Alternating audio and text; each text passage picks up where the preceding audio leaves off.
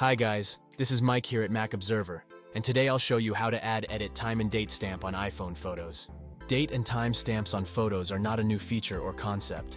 Even the yesteryear's roll films featured time and date stamps. Unfortunately, iPhone still lacks a native or built-in timestamp for photos. It is fairly easy to add and edit date stamps on iPhone photos. Date and timestamp help us relive our memory and connect the dots between pictures. You can check the date several years from now without opening the picture settings. The direct date stamp is super useful when viewing images outside iPhone, such as a smart TV. The best way to add date stamps for photos is via third-party apps.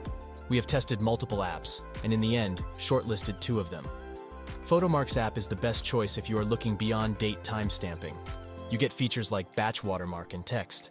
However, Date Stamper is a better alternative as it is free to use and offers basic set of features. Here's how you can download Date Stamper and use it on iPhone Photos app. Date Stamper is a free app that lets you add and edit date stamps in bulk. Open the app and grant access to the photos. You can grant access to multiple photos or the entire camera roll. The photos will now appear on the app. Tap and select the pictures for stamping. On the top, you will see a button. It says Stamp Photos alongside a number of selected images. Tap the button. If iOS asks for permission to modify pictures, select Modify to proceed. That's all.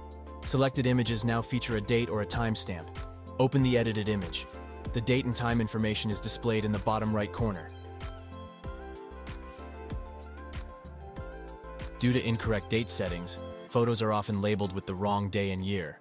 Setting your iPhone back to the correct date is easy. But what about the photos that were dated wrongly? Thankfully, you can change the date on multiple photos at once. Here's how to do it. Open Photos app on your iPhone and tap and select the photos you want to change the date. Swipe up till you see Adjust Date and Time and select the same. Use the calendar pop-up to select the appropriate time and date. Tap Adjust button on the top right corner to save the changes. Voila! You have successfully changed the date for multiple photos. Follow the same steps for changing the date for a single image. Skip the second step, wherein you select multiple images. That's it for today, guys. The adage is even valid in today's digital world. Pictures taken on iPhone contain a ton of data, including time, date, location, and much more. Collectively, it is called metadata. Proceed with caution while sharing your pictures on the internet. The metadata can give away much information that might attract the wrong type of attention. Don't forget to like and subscribe at Mac Observer for more intuitive guides, tips, and Apple news.